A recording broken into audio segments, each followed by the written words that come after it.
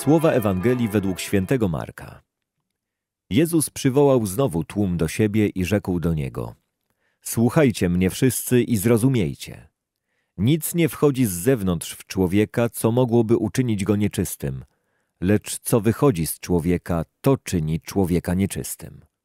Kto ma uszy do słuchania, niechaj słucha. Gdy się oddalił od tłumu i wszedł do domu, uczniowie pytali go o to przysłowie. Odpowiedział im: I wy tak niepojętni jesteście? Nie rozumiecie, że nic z tego, co z zewnątrz wchodzi w człowieka, nie może uczynić go nieczystym, bo nie wchodzi do jego serca, lecz do żołądka i na zewnątrz się wydala. Tak uznał wszystkie potrawy za czyste.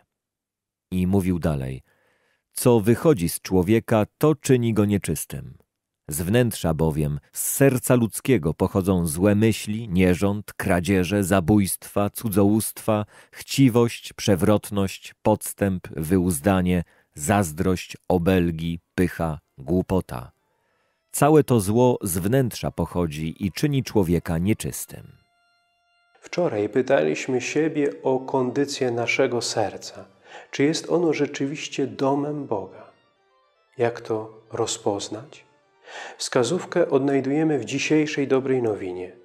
Zarówno dobro, jak i zło, które zdarza nam się popełniać, jest zewnętrznym wyrazem tej kondycji naszego serca, naszej duszy. Ale zrozumienie, czy moje czyny są obiektywnie dobre, czy złe, także może sprawić nam trudności. Często człowiek broni samego siebie przed krytyką, nawet własnego sumienia.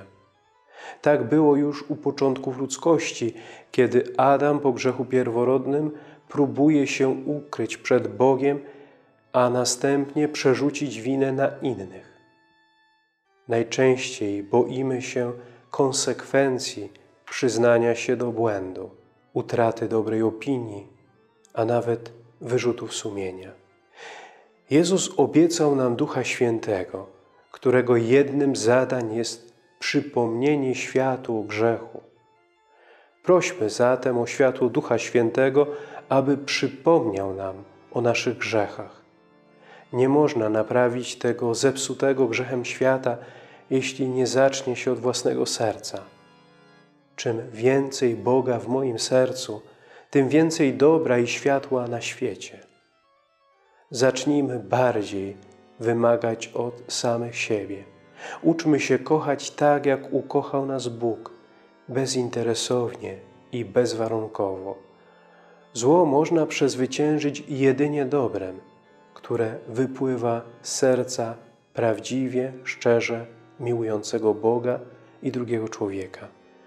To Bóg dokona tego wielkiego cudu w nas.